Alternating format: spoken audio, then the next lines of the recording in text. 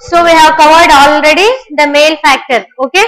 Total. Now you know how to treat male factor infertility or not. So any question regarding male factor infertility you should be able to answer. Is it clear? So now you know how to give and which treatment to give for which cause. Now coming to female factor. So what are all the female factors? Defect can be at which levels? Ovary, tubes, uterine, cervix. So now we will deal with each factor, what are all the various causes and which treatment to give in which factor. Okay. Coming to female factors. So either there can be even defect at the level of vagina. So we are previously we came above down, now we go from down to above. So what are all the various small development of the vagina? So there can be vaginal agenesis. So there will not be opening in the vagina. The vagina is closed. Where do we see closed vagina in a female? In a female, va- vaginal agenesis. What important bit for you? When do you want to recanalize the vagina? Suppose a female uh, patient, her vagina is closed totally. So you want to repair her vagina and put a normal vagina. So if you want to do, when do you want to do PG bit? In which case you see it and at what time you want to repair it? Why only at that time? First basics topics of gynec. First 30 pages low ఉంటుంది all regarding the chromosomal abnormalities. Not other than imperforate hymen. Not before puberty. Not Shripati, not before puberty. Still, still refined answer. No, I am speaking not about hymen. Online people, I am speaking about vaginal agenesis, not about hymen.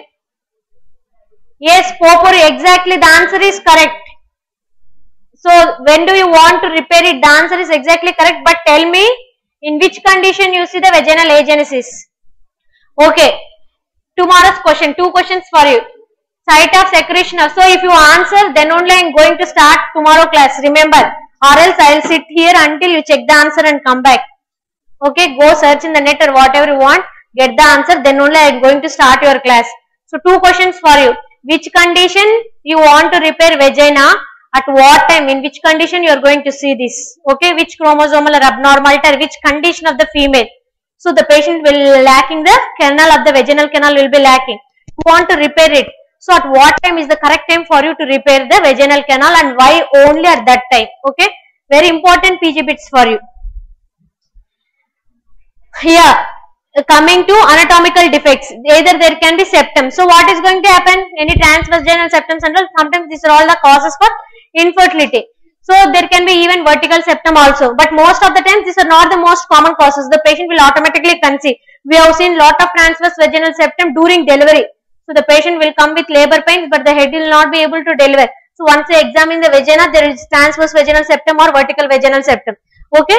But any abnormal defects can still cause female infertility. One more, that's what we told you, non-canalization of the vagina. This condition you need to check out tomorrow. So retroversion of the uterus, this is also one of the cause. Retroversion normally thing. So retroversion um, normally ca- i- is it a normal phenomenon or abnormal phenomenon?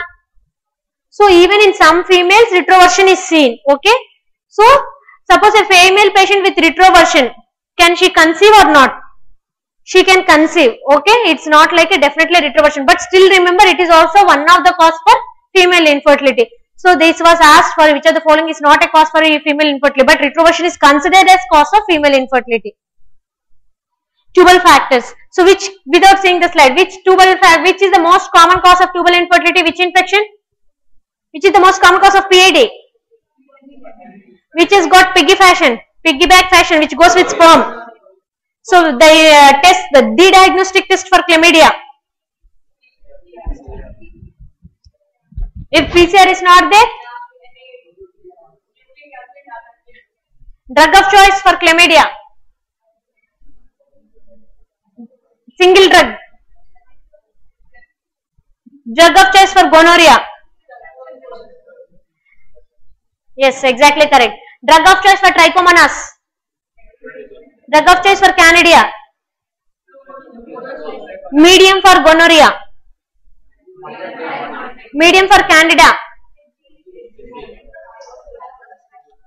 Now answer. Incubation period of chlamydia. Sure? Incubation period of chlamydia.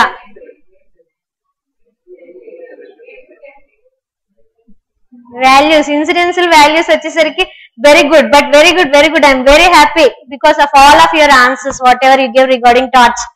Which is most severe infection? Baby, intrauterine infection. Okay, I am happy, very happy. Today I think I will sleep fully. So gonorrhea, coming to most common tubal factor which causes infertility is chlamydia first nowadays, now gonorrhea.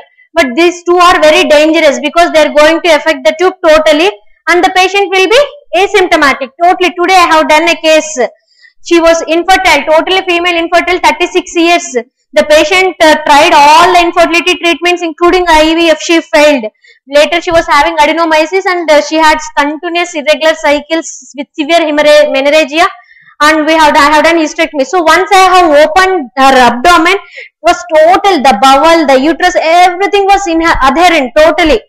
Okay. So typical adhesions are seen in all such a kind of these cases. So that's why there will be infertility. The, the, the most common cause of ectopic pregnancy also. Okay. So all infections, the PAD we have discussed, which is going to cause. So the patient, whatever I have done today, she was right ectopic pregnancy with right salpingectomy prior. Okay, this is the typical picture. So if the adhesions are seen from pelvis to liver, what do we call it as? Fitzhugh-Curtis syndrome. What is the cause of Fitzhugh? Gonorrhea and chlamydia. So both cause Fitzhugh-Curtis syndrome. What is the one more syndrome chlamydia causes? Reiter syndrome. What are the components of Reiter's? One more, arthritis.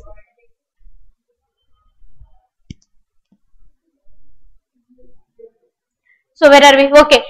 So the tubal factors, any tubal, either tubal defects, either most common what do we see is tubal infection. So the most common cause of infertility regarding the tubal factor. And remember, always remember, the most worst part is tube. If it is a uterine factor, we can correct. If it is a ovulation, we can correct. But the least correctable part and the least success is seen in tubal part. Okay, this was asked for you. Which of the following has got least chance of success? Okay, the tubal factors has got least chance of success.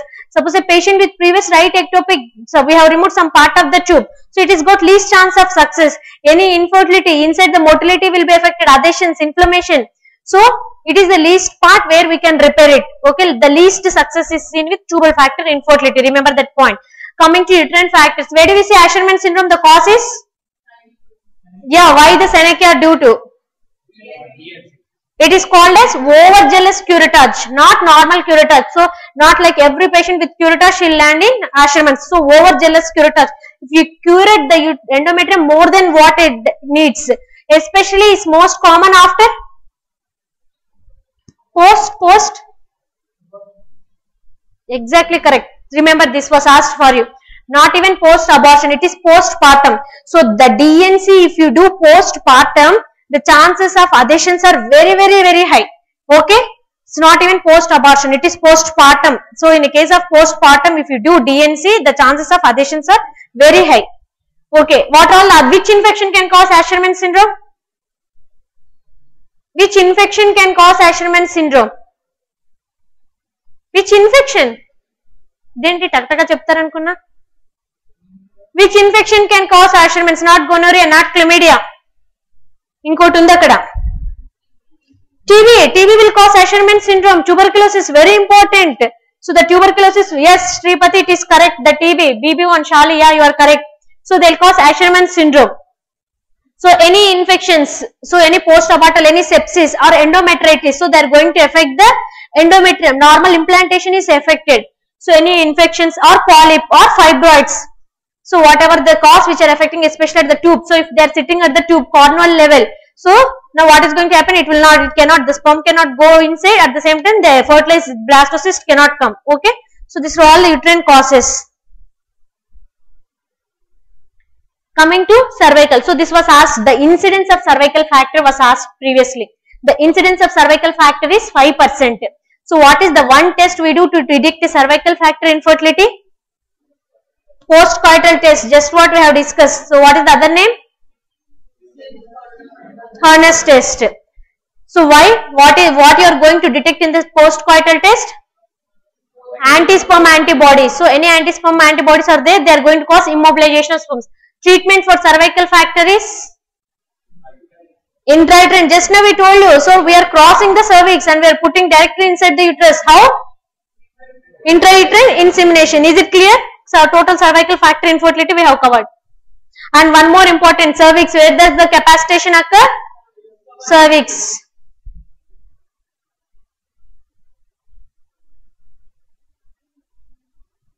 So coming to very important for us. So the most correctable cause and we are very happy if the patient is having anovulatory defect because it is very easy to correct.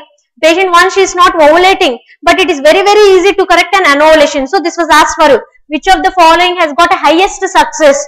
It is ovulatory factor. Any anovulatory factor has got highest success rate in treating the infertility patients. Okay, so what are all the causes of anovulation? The most common cause what we see is PCOD. So polycystic ovarian disease. Other than that, there are defective. The ovary itself will be defective in Turner syndrome. It is streak ovaries. So they are having streak ovaries. 45 XO. The Turner's is 45 XO. So other than that, there can be even defect at the corpus luteum defect regarding the ovary. So the defective progesterone will be there. Okay, the corpus luteum will not be able to produce progesterone properly. So the whatever the defect because of this corpus luteal defect, there will be early rupture of the follicle. Okay, even before the sperm comes, there will be early rupture. So these are all, or else there can be unruptured luteinized and for, uh, unruptured luteinized follicle syndrome we call it as. So either the corpus luteum will be formed, but it will not be rupturing. So once it ruptures, then only egg is going to get released. So these are all the various defective factors in the ovary, but it has got a good success rate. That is the point you need to remember or else there can be defect at the higher level okay pituitary tumor any pituitary tumors they can present with gonadotropin deficiencies prolactinemia so that's why any infertile patient always examine the breast so it is one of the sign for prolactin levels okay coming to peritoneal so that's what today i told you the picture what i have seen the patient be full of adhesions either it can be either pad or endometriosis what is the typical feature we see in the ovary in endometriosis chocolate cyst. So we call it as chocolate cyst. Where do we see chocolate cyst? In endometriosis we see chocolate cyst. Okay.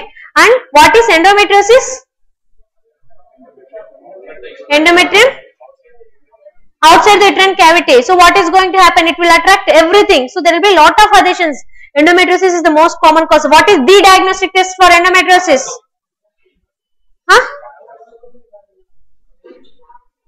Hysteroscopy. Why not hysteroscopy?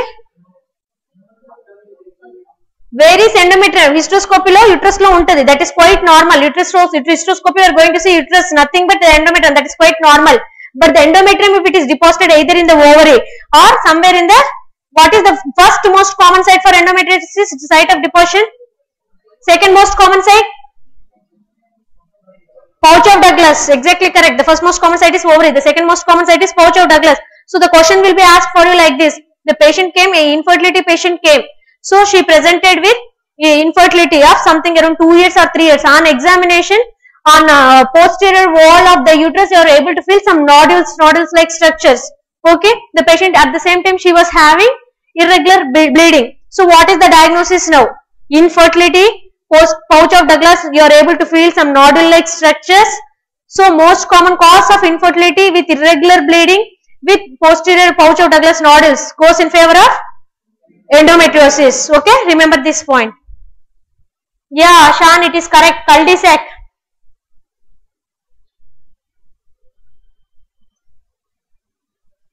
Yeah. TB endometriosis. How does it cause infertility? What did I tell you TB? How does it cause? Now tell me Asherman's what does it will cause? Hmm? Yes, that's what Asherman syndrome TB. Endometrium, it is going to sit in the uterine cavity, it destroys endometrium. Only B. What are all the typical features of TB? Tube. The tube is affected. The tubal blockage is seen. Yes or no? So what is the typical tubal feature? What do we call the tube as?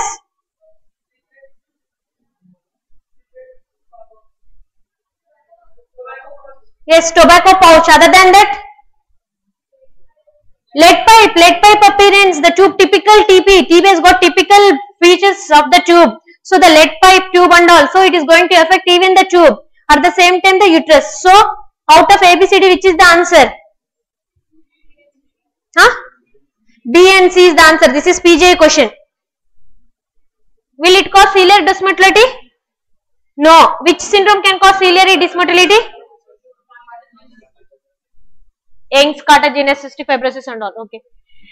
So this is we have discussed already. I told you. So how to assess an ovulation? So which of the following is a basal body temperature? How much rise normally?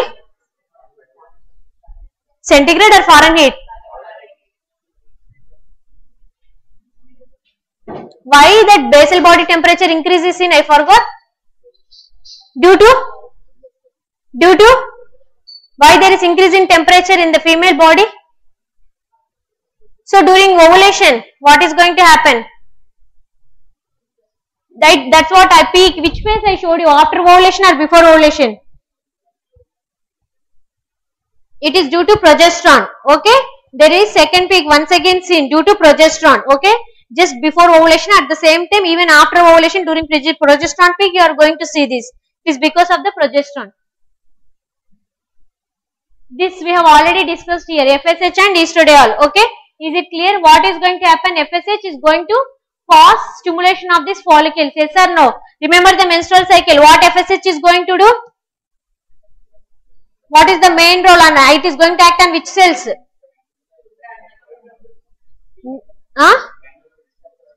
ఈ రోజు నువ్వు ఉండు నీకు menstrual cycle లాస్ట్లో మళ్ళీ నీకు night అంతా menstrual cycle చెప్తా FSH is going to act on which cells LH అంత బొమ్మలేసి కష్టపడి చెప్తే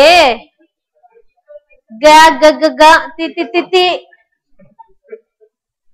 So FSH is going to act on granulosa cells. LH is going to act on what is that theory called as? Two cell two gonadotrophin theory.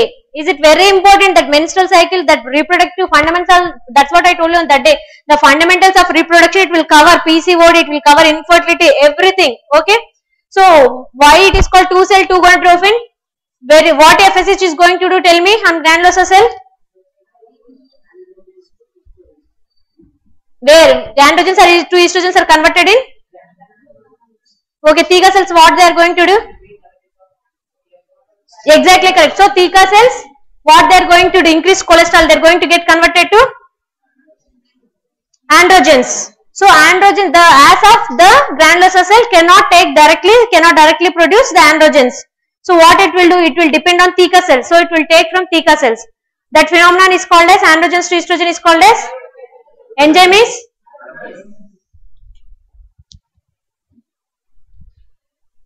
Hamsa, it is FSH on granulosa cells, LH on theca cells. So what does this FSH do? Why only one is developing dominant? What is going to happen to other? Because the granulosa cells, they are having more FSH. So FSH, that's the FSH which is protecting the one dominant follicle. Okay. Why? Because the FSH is stimulating more follicles to develop in the ovary. So it is given one of the treatment because once we give FSH, they are going to stimulate oogenesis. Is it clear?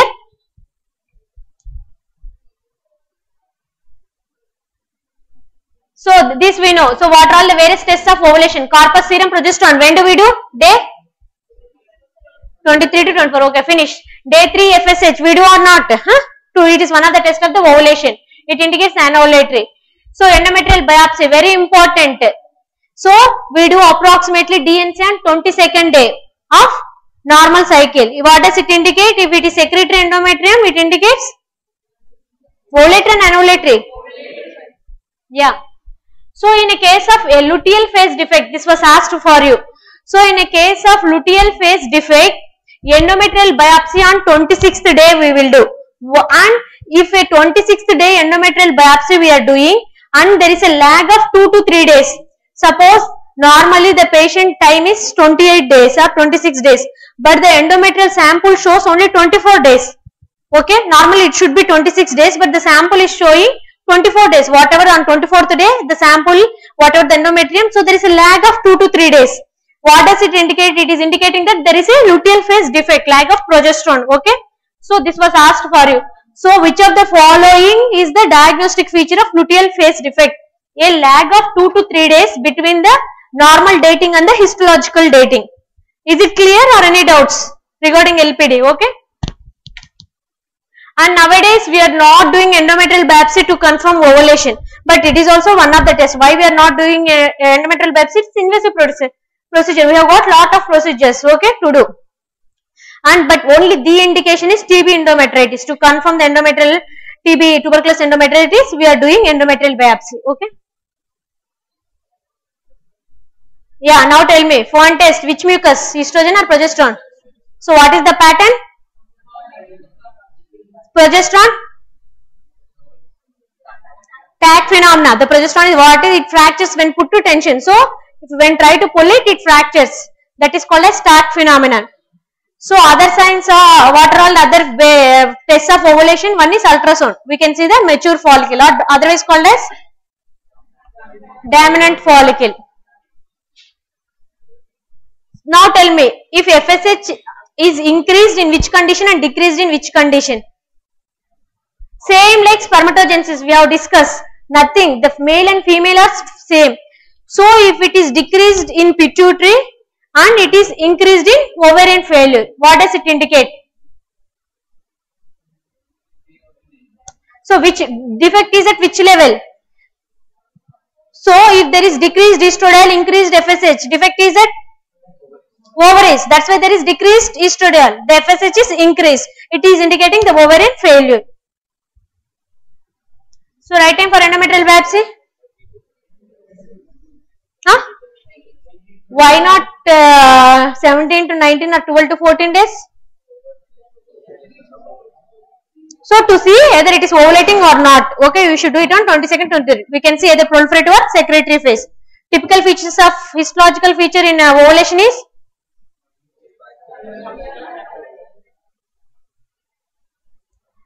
So how to treat this? So we have discussed the causes already you know all the causes of female infertility. Now I need to give treatment. So what are all the causes? We give treatment depending upon the cause. So if the defect is at the pituitary level, LH FSH, how we are going to treat this? So we supply FSH and LH direct, some simple. So hyperprolactinemia, treatment for hyperprolactinemia is drug of choice is bromocriptine. Nowadays we are giving cabergoline, okay? Bromocriptine and we- it is a dopamine agonist or antagonist? Very important. It is not an antagonist. So a, what is uh, how it is going to act? The dopamine agonist which is going to suppress prolactin. That's how it is going to act. Okay, that's how in hyperprolactinemia it decreases the prolactin levels. So dopamine is an agon- antagonist of prolactin. Is it clear? Is it clear? Dopamine agonist. Remember bromocriptine.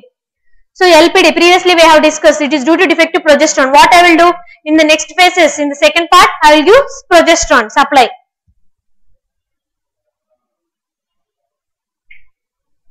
So PCOS most commonly PCOS normally there is increased which hormone?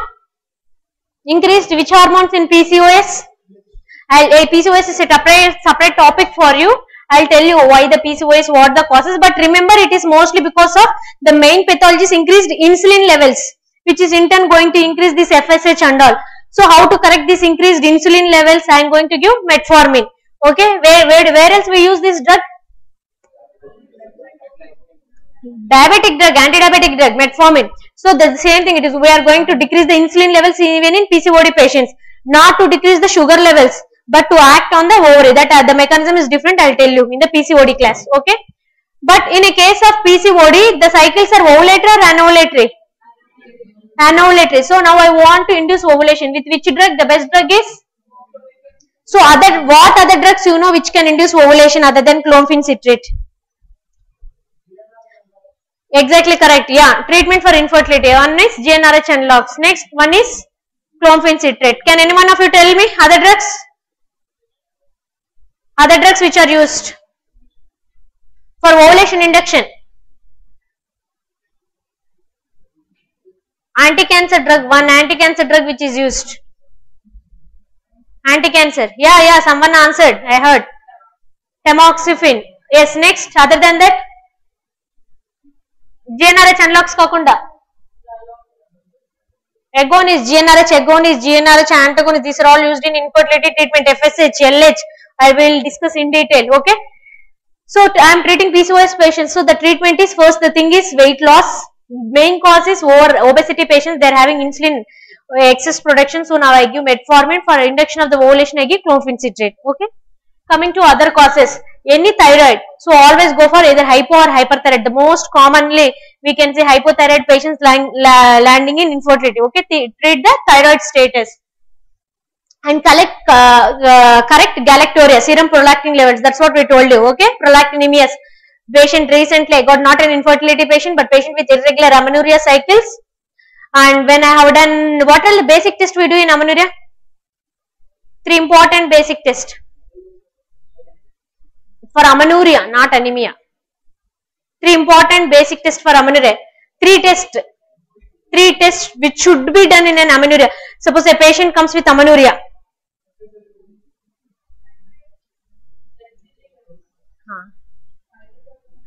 అమ్మో నాకంటే ఎక్కువ చదివేశారు మీరు obstetrics so patient with amenorrhoea the first test what you do urine pregnancy test urine pregnancy test Yeah, always remember even in your exams they'll ask you in your pg bits they'll ask you so any patient with amenorrhea don't think that only if she is married go for urine pregnancy test we have seen lots and lots of patient with good very good tummy even at 13 years age i have seen around 20 weeks tummy coming with positive urine pregnancy test. Okay? Always the basic test patient with amenorrhea is go for urine pregnancy test. Other than that what test you have to do? Serum prolactin. Okay? Next serum thyroid tsh okay? These are the three basic tests. And pcos scan we rule out. Okay? So first test is urine pregnancy test a patient with amenorrhea where are we? Galactorrhea. Okay. So serum prolactin that's why galactorrhea has come. So the any patient with amenorrhea first right for the, the previous patient what i was telling she had irregular amenorrheic cycles. Her prolactin levels once i have done it was very shocking to me. It came something around 300s it indicates macro macroadenoma of the pituitary. Okay? So any amenorrhea patients never neglect. They'll be having pituitary even not even though not macro but microadenomas are seen. So never neglect a patient with amenorrhea. Always check the serum prolactin levels okay? Next. Mm. so pcos okay we have treated the cause. We'll go for the next thing. So hysteroscopies so where do we use this hysteroscopy? To to check which one which factor uterine factor hysteroscopy is to check the uterus so to check any uterine factor what abnormality there there can be uterus polyps there can be fibroids there can be septum. So any patient the best test for infertility is the best test the best diagnostic mode for infertility. Hysteroscopy with diagnostic laparoscopy okay? Not only just hysteroscopy. So hysteroscopy what you are seeing uterus and block at the cornual level of the tube laparoscopy what we are seeing? Rest of the tube i am seeing. Not inside of the tube outside the tube i can see. Okay any adhesions peritoneal factor i am covering. The ovarian factor i am covering. Okay hysteroscopy with diagnostic laparoscopy the best method.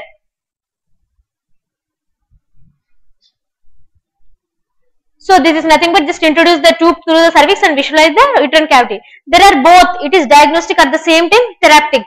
Suppose there is polyp. I am going to do polypectomy. We have done recently. So a patient with came with intrauterine adhesions previously. Lot of adhesions. Something like Asherman syndrome. I have to go for adhesionolysis. Hysteroscopic adhesionolysis I have done. So Asherman syndrome lies the adhesions. Polyp. Go for polypectomy. Any uterine malformations we are going to correct. Okay. At the same time, any fibroids are there, we can resect. Small fibroids, we can resect off. So this is the hysteroscope instrument we are introducing into the cervix and we can visualize the entire uterine cavity. This already we have seen the HSG picture. So this is the normal shape of the uterus. This is the typical very good picture of HSG. This is the typical filling what we see to call it as a normal. This is the, are you able to see some filling defect here? HSG, okay. Why I have shown this picture is HSG shows not only tubes but also uterine anomaly. Remember this point. What is this?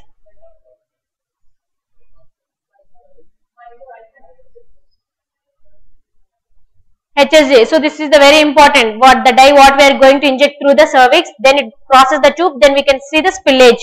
This we have already discussed. So it is not only the fallopian tube but also the uterus. So both we are able to see through the HSG. When do we do first important thing is yeah we forgot to discuss. So when do you want to go for a HSG? So patient of infertility has come. Huh? When do you want to do a HSG test? So she came for infertility. Today she came. So when do I want to do a test and why only during that time? So always early, immediately after periods go for an HSG during the follicular phase. Why? Because once you approach near the period of ovulation, okay, suppose the patient might have conceived during that time, no one knows, even though it is an infertile patient, the patient can conceive during the time whatever you have done, okay, you might be unnecessarily causing abortion of the pre-fetus. So, always go for HSG only in the first phase, where it is proliferative phase, immediately after the periods, okay. Yeah, Kausar, you are correct and uh, the important thing with this risk is risk of salpingitis. So what is what this dye is going to do? It is going to cross the uterus tubes then to the spillage. So it may cause the endometritis. If the endometritis or endometrial it can cause or tubal infection it can cause okay? These are all the complications. And other tubes we can, I told you it is phalloscopy or salpingoscopy. If we go through the fimbrial end, we call it as fimbrial salpingoscopy. We go it through this cornual end, we call it a as transcervical phalloscopy. Okay, to see the tube. So, what are all the various modes to visualize the tube? You know what is the sonohysterogram? Saline sonohysterogram. Just now we discussed what is saline sonohysterogram. Where do we use that? Tubal obstruction. Saline sonogram just now we discussed. No, no, now I know. I am not. That's why I am not listening to. Let others answer. What is saline sonohysterogram? Just now we discussed. What defect? Which defect we are going to see?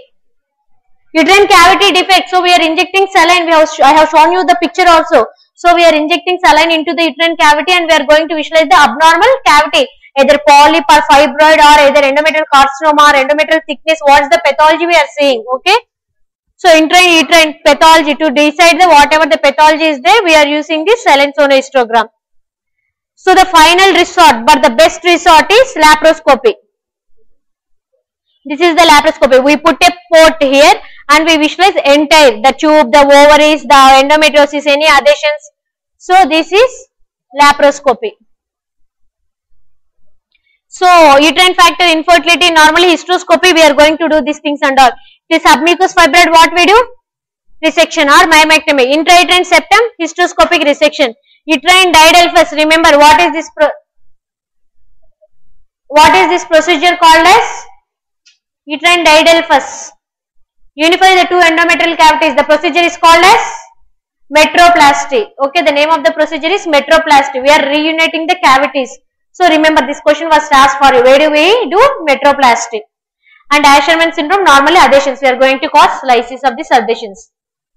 Yeah, answer this. What is this Rubin's test? What is this Rubin's test? It was used olden olden days long ago. It is called as Rubin's insufflation test. Okay, to check the tubal patency. It was used long back, but nowadays we are not at all using. Okay, we insufflate air and all. We'll put a stat and we'll listen. That's a total different. No need of you. Okay. What is? Where else you heard this name, Rubin? Huh? Good, very good. Rubin's criteria for abdomen. Rubin's criteria is for which pregnancy? For abdomen. Other criteria is Spiegelberg ఎక్కడ వాడతారు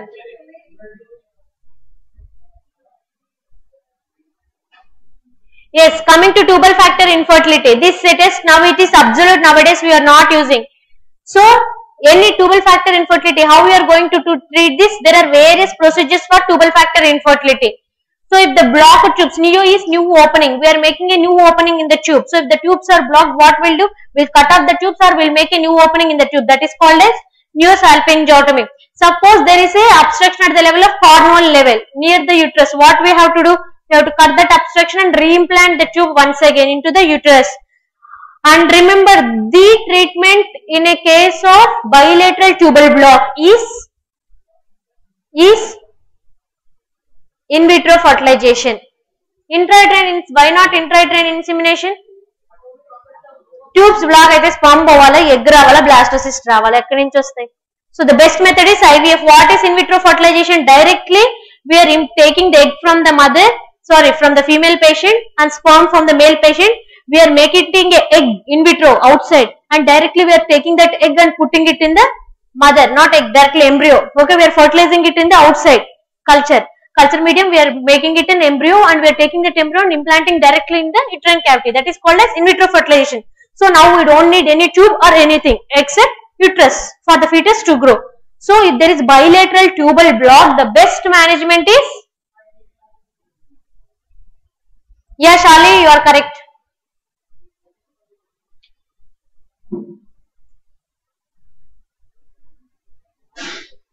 So this peritoneal factor. Suppose we have done a diagnostic laparoscopy. There is adhesions and all. What you are going to do? Adhesionolysis. So simple. Laparoscopically you are going to remove the adhesions. That is called as adhesionolysis. Or endometriosis you are able to see on the ovary. What you are going to do? You are going to remove the excess or ablate that part of the endometriosis. Okay? Yes. Answer. chlamydia and gonorrhea. This is a PG bit.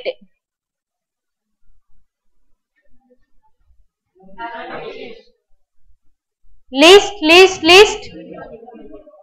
So after annulation, which is correct? Tell me the order. A, B, C, D. Annulation, next what? After annulation? Oligospermia. After that? After that? So coming to ARTs, artificial reproductive techniques.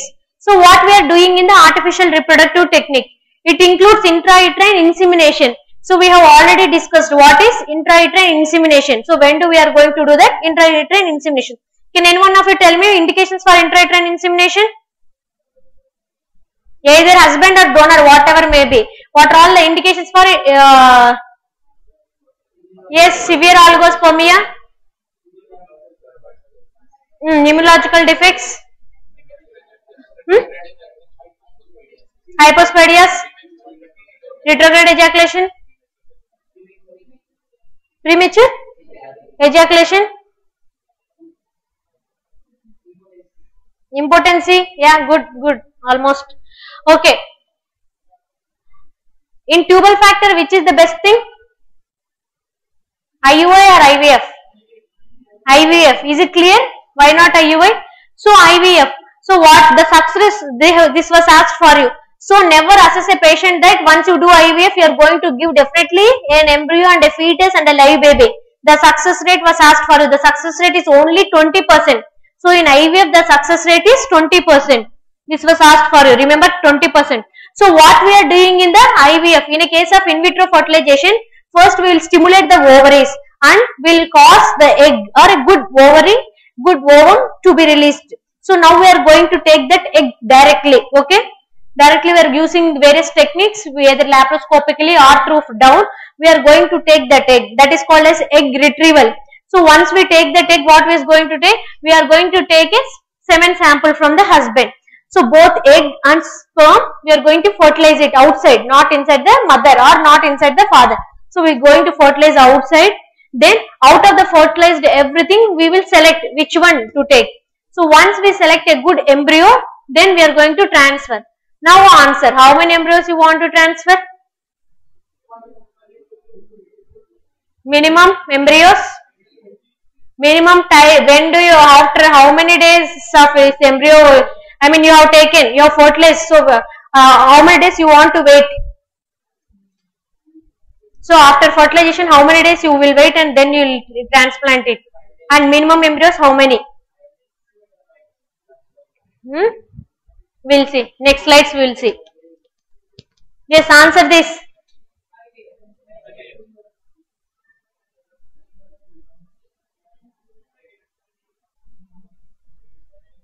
Why you are thinking this much? What is the answer? Hmm, IVF, everything IVF. Don't read the question. There is difference between best step and next step. Previous question was best step. That's why I made this question specifically. I didn't ask you best step. Be careful while answering. Next step I asked. So what is the difference between next step and best step? So always remember, a patient on HSG, if there is cornual block, it is not always due to block. So we are injecting a dye. What is going to happen? The patient will be having some part of pain. So there can be tubal spasm or mucosal block. Very so simple. So there will be some mucosal block. It will in HSG, it will appear as bilateral cornual block or simple one side unilateral, whatever the cornual block. So if HSG picture shows it is a cornual block, don't diagnose the patient as tubal block. Go for hysteroscopy. In hysteroscopy, what we will do? We can directly visualize the cornual end. Okay, whatever the mucus is there, we can remove that part or we can flush it off. Once the mucus is there, it will come out. So that's what it, the next step is laparoscopy and hysteroscopy. But if they ask you the best method, then only it is IVF. The next step what we do is we go for hysteroscopy, remove that tubal block and diagnose either it is really tubal block or it is mucus, just a simple normal mucus plug. If it is normal mucus plug, it will go off once you flush it. So the tube is now fine. Okay. That is the difference. Video break and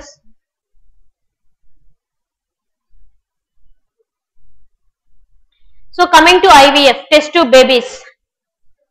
So what is this? It, it see which cytoplasm we are injecting? Egg cytoplasm. We are directly taking the sperm and we are putting it into the egg cytoplasm directly. Where do we do? What is the D indication for ICSI? Severe oligospermia. So if the sperm is very less, very very less. So whatever the sperm is there, now it can't penetrate the egg and all. If uh, very few sperms are there. So what we'll do? We'll go for ICSI. We'll ask the patient to go for ICSI. Okay. So this is the thing. So they are injecting directly sperm into the egg cytoplasm. This is called as ICSI. So this is the spermatid. This is the sperm. They have released the sperm into the cytoplasm.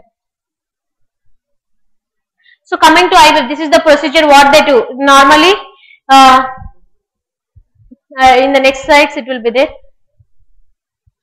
So the important things what you need to remember is the pregnancy rate is for IVF is 20 percent. So, and the most common causes of this multiple, uh, this in vitro fertilization is, what are all the most common side effects we see? Ectopic pregnancy, next, multiple pregnancies. So, multiple pregnancies are seen. That's what I told you, in heterotopic pregnancy, the most uh, common cause we see nowadays is, is because of increased IVF procedures. Why along with not one embryo we are injecting, we are injecting two to three embryos along with fluid. So, one will be sitting in the tube, one will be sitting in the uterus. So what is this gift? Gamete intrafallopian transfer. So normally whatever the egg and sperm, we take the egg and sperm and directly we are placing it in the fallopian tube. That is gametes. What are the gametes? Male gamete, female gamete. So easy. We are putting it in the tube. So that is gamete intrafallopian transfer. But nowadays we are not using this. So what is ZIFT? Zygote intrafallopian transfer? we are taking instead of gametes directly zygote and we are putting directly into the tube that is zygote intrafallopian transfer. Later this zygote will travel the tube and it gets implanted in the uterus. So now how questions are asked for you. So which of the following method can be used in a tubal damage? Is gift and ZIFT are used? Why? Both involves tube. So this is how they have asked you question. So for a gift or ZIFT the tube should be normal. So for IVF there is no need of tube. Okay. Remember this. So that's what not done in tubal infertility cases. Gift or ZIFT. Success rate is 30%. So this is how they will take normally egg they will take. This is the egg they will sperm and they will create embryo outside then they will transfer it. This is mostly done in IVF.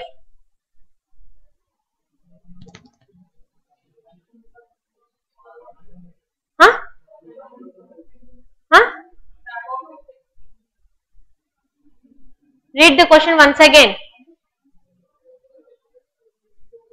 I didn't ask you anti-cancer something, anti-hormonal substance. Why clomiphene? Is it an anti-hormonal? How? Huh? Huh? Anti? That's what, so simple. It is anti-estrogenic. We have discussed already the mechanism. So the clomiphene, how it is going to act? The main function is it is going to block the estrogen receptors. So it is an anti-estrogenic. Anti-estrogenic is nothing but an anti-hormonal substance. So they have asked you like this in the AIIMS. This was an AIIMS question.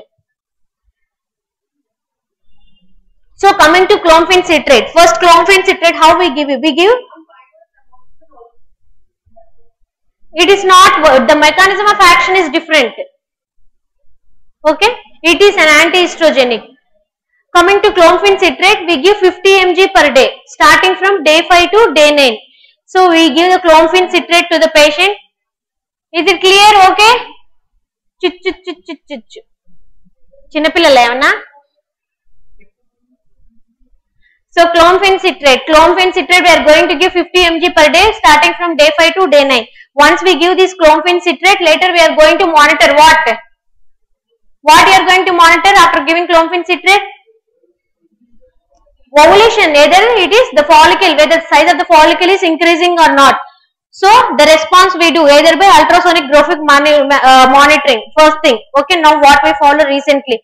Or else i can check even estradiol levels. Suppose nowadays what we are doing in infertility is a more recent they have asked you. So AIIMS they are asking these recent points and so even though we go for just follicular monitoring with doppler and all but based on the estradiol suppose the patient recently i have one infertile patient so I given her clomiphene citrate. The patient was um, uh, either whatever FSH or LH, whatever you give. That day I given FSH to the patient. So she was on monitoring continuously. The size of the follicle is good. Uh, not uh, approximately I should get a size of 24 mm follicle for me. Okay, that I can say it is a very good follicle. But the size of the follicle is only 20 mm. But still I want to continue the drug FSH to the patient. The patient suddenly complained of pain abdomen. What do you think? a patient with pain abdomen. She is already on induction. Ovulation induction. The patient this was this happened. The patient came to me with sudden pain abdomen. On examination the patient had severe pain abdomen vomitings. Whatever the patient came to me she didn't had that complaints but i am creating a question. So she and on examination there was ascites also so what is your diagnosis అనుకున్న ectopic పెడతారని because I taught you only ectopic, you know only about ectopic. It is ovarian hyperstimulation syndrome. Okay. Always remember the most, uh, that's what in nowadays we are seeing in FSH, LH. So whenever the dose, how much dose you need to give, you need to monitor with estradiol levels. So this was asked for you, how to monitor a patient. So patient on induction, FSH, LH or gonadotrophins, patient presents with pain abdomen and ascites most common cause is OHS, not ectopic pregnancy. Okay, this if this is the picture the patient presents with. So the patient which uh, whoever has come to me, it was only 20 mm. I want to further increase the dose because the size I want to get is 24 mm. That is a good size. But the patient suddenly complained of pain. Now how I should know whether to give the dose or not further dose? Wanted serum estradiol levels. That is the main thing. So what I have done? I have sent the patient for serum estradiol levels. So by monitoring the serum estradiol levels, I can decide whether it is the patient is landing in ovarian hyperstimulation syndrome or not. So the levels will be very high, greater than 300, 600 depending upon the degree of the OHSS. Okay. So the levels were very low in whatever the patient she came for infertility, just only 110. So I have continued the dose for 4 more days. This is how I decide. Okay. This was asked for you, serum estradiol levels. Yes, Shali, you are correct. So you know this is anti-hormone. Why they called it as anti-hormone? So it is going to anti-estrogenic on pituitary. So how it is going to act? So anti-estrogenic effect on hypothalamus, increase in GnRH, increase in LH and FSH. Further increase is going to cause development of the follicles. Further this increase, they increase in estradiol, LH surge and ovulation. So simple. The menstrual cycle we are repeating the basics of the menstrual cycle. Is it clear? And out of other things, I mean out of FSH and LH, the clomiphene we are not much worried. So the patient on clomiphene citrate, I can happily relax. Why? Because the risk of OHS is very low when compared with other things. So patient, whenever I put her on clomiphene citrate, nothing to be worried. And out of these, how many patients are going to ovulate? This was asked for you. So 80% will ovulate and 40% will conceive. Remember these percents. So patient on clomiphene citrate, 80 ovulate, 40 conceive. Dose I already told you, 50. Suppose a patient, this time I have kept her on 50. She is not responding. Next cycle, how many cycles I can give clomiphene? So what is the maximum dose? So maximum 6 cycles. 6 cycles of clomiphene citrate I can give. Okay, next month increase the dose to 100. The next month increase the dose to 150. So the maximum dose is 250 we can go. After that we cannot cross 250. But the main disadvantage with clomiphene citrate is it is an anti-estrogenic. So how will, how the cervical mucus will be? Cervical mucus in an anti-estrogenic phase. So the mucus will be always thick, thickening of the cervical mucus. So this is the main disadvantage with the clomiphene citrate. Even though it is releasing the ovum, everything positive, but one negative point regarding the clomiphene citrate is it is it, the, it is not allowing the sperm to enter because of the anti-estrogenic effect on the cervical mucus. Yes.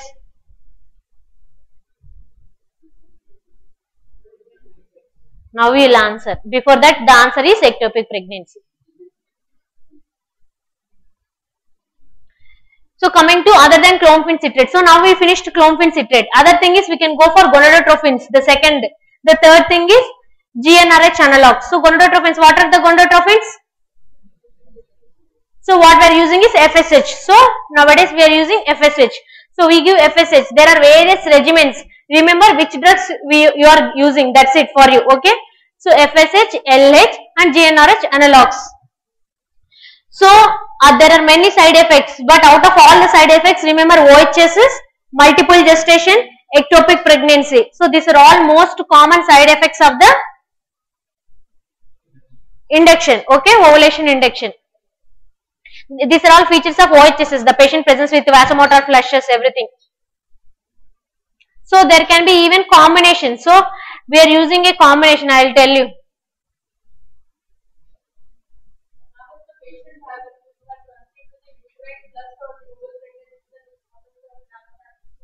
Heterotopic pregnancy, most of the times what we do is we will continue the intrauterine pregnancy. At the same time we are going to remove laparoscopically tubal pregnancy depending upon the size one thing.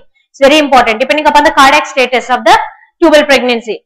We try to maintain the uterine pregnancy without disturbing it but laparoscopically we are going to remove the ectopic pregnancy. Okay that is heterotopic pregnancy. So other than the clomiphene citrate now a patient has not responded. Whatever six cycles i have finished the maximum dose is finished now don't give clomiphene citrate. What other alternative? I can mix it with other drugs. So clomiphene citrate along with FSH nowadays we are giving. Okay. So these are all the clomiphene citrate. So they, how can they ask you? So which of the following is not used for induction of ovulation or which of the following is used for ovulation induction? So not only plain clomiphene citrate. Clomiphene citrate with gonadotrophins also we can use. So what all the various other combinations I will tell you. So gonadotrophins there are two regimens. One is step up regimen, step down regimen. What is step up? Always start with a low dose. Low dose for initial 5 days 75a okay international units. Next make it 150 on next 5 days. Next make it 225 that is we are gradually increasing the dose. That is step up regimen. So what i told you the patient uh, the i mean 20 mm 24 mm the patient i followed step up regimen. The next regimen is step down regimen. Step down regimen give a high dose next low dose next low dose. We are coming down that is step down regimen. But remember, we for your knowledge, you need gonadotrophins, FSH and LH. Other than that, we are nowadays using GnRH agonists also. Okay, human menopausal gonadotrophin, HMG. So, where do we use this HCG? Once this follicle attains the maximum size, okay, whatever the follicle is attained maximum size, the corpus luteum is not rupturing. So to rupture the whatever the maximum follicle, we give HCG for rupture of the follicle. Remember, okay? The HCG where do we give? To rupture, to cause rupture of the ovarian follicle. So once you give HCG, what is the time of uh, once you give HCG? After 36 hours, it needs minimum time. Okay, after 36 hours, why this time is very important. So ask the patient to have coitus. That is very important because the egg is going to rupture during that time once you give an HCG injection. And this time is very important even for artificial insemination. So you want to inseminate the sperm. Today I have given that patient I have done even artificial insemination. Patient was having both male and female. So I have induced the patient with FSH. Now I got a good size of the follicle. Now what did I do? I have given HCG on the 14th day. So it was ruptured. Now I asked the patient to come back 36 hours. Okay. And as uh, inj injected semen by artificial insemination. Is it clear? 36 hours is the time remember. HCG is used to cause rupture of the follicle, dominant follicle.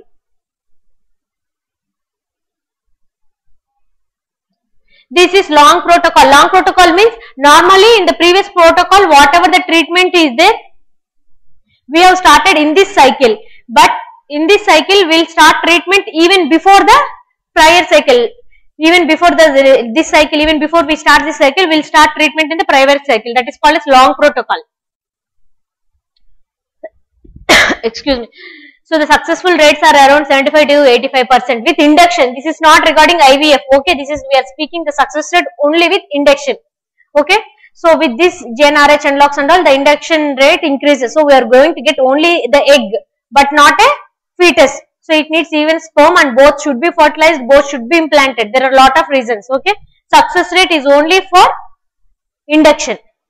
What is success rate of IVF? So now once we have induced by various techniques, now we are taking the oocyte either you can go for laparoscopic oocyte retrieval or ultrasonic uh, so you through scan and this uh, perform. That's what I told you why it is very important. After HCG injection if you want to take a oocyte in a case of IVF or if you want to go for artificial insemination when to plan? 36 hours. Remember that time it was asked for you. So this is the good uh, this is the ovary total ovary. We are able to see follicles. Are able to see each one? 1 to 3 follicles are got stimulated. So, we will measure the maximum size of the follicles and we will take the egg. So, once we take this egg artificially, we are going to, this is the sperm. So, artificial in vitro fertilization, sperm and this is the egg. So, here you can see two pronuclei, this is the earliest phase. So, oocyte. So, once whatever the sperm we have taken, we do it cells not only just normal we don't just take directly the sperm and inject it so we do some wash we centrifuge it we put it in a culture medium then only after that we are going to transfer. So remember how many spermatozoa you are going to transfer? In a case of IVF 1 2 10 how many? 20 30 so you have taken the egg. So you have taken the egg and you have put aside. Now I want the sperm for fertilization. So how many sperm you want to put it in the dish?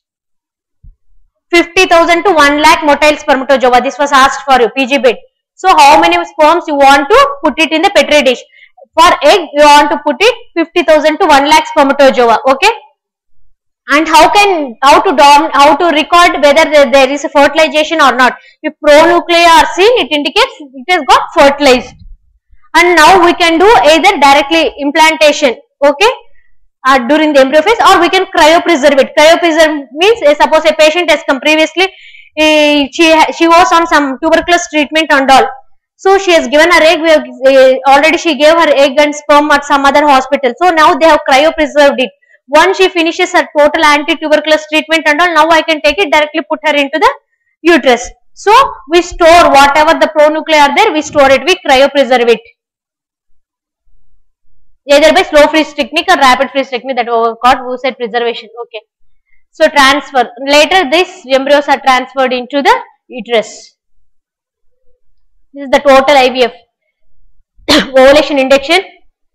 Next uh, sperm sample we are taking fertilizing the eggs. So after fertilizing the eggs, so recover we have we have recovered the eggs and all. So fertilization of the eggs, next we place it in a nutrient solution. So the blastocyst stage we are taking and we are putting insertion of the embryo into the uterus.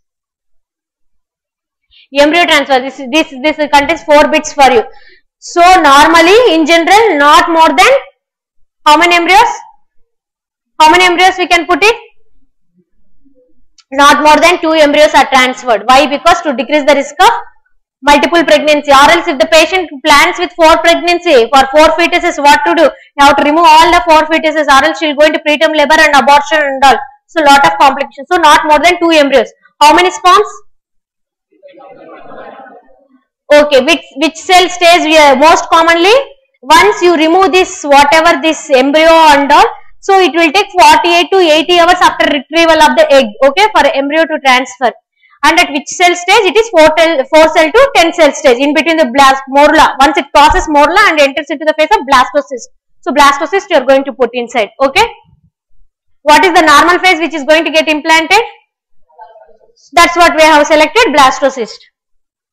And very important to supply the progesterone in the second half so that what whenever even though the ovary is not producing progesterone this progesterone will support why progesterone is important until normally which is supplying the pro normal pregnancy which is supplying progesterone until how many weeks ఆ? ఉంటే eight లేకపోతే సిక్స్టీనా six వీక్సా Marina minimum eleven weeks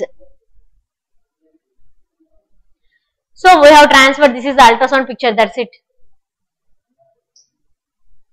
So the risk of ectopic pregnancy is 4 to 5%, but heterotopic is 1%. So there can be, so which are all the complications, there can be ectopic, there can be heterotopic, there can be multiple gestation.